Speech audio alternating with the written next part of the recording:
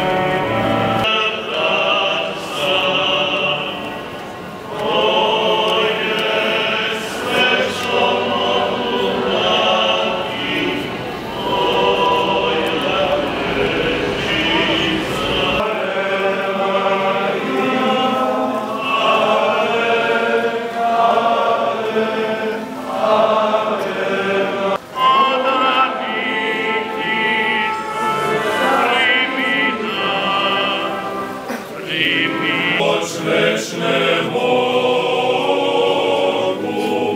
molnom čudo izmoliš pri Bogu. Jedinstvena diko Hrvatske, ti si prihvatila Božju riječ i dopustila da te osjeni sila svevišnjega a sada tražiš ljude koji s tobom žele podijeliti darovanu radost spasenja. Okupljeni smo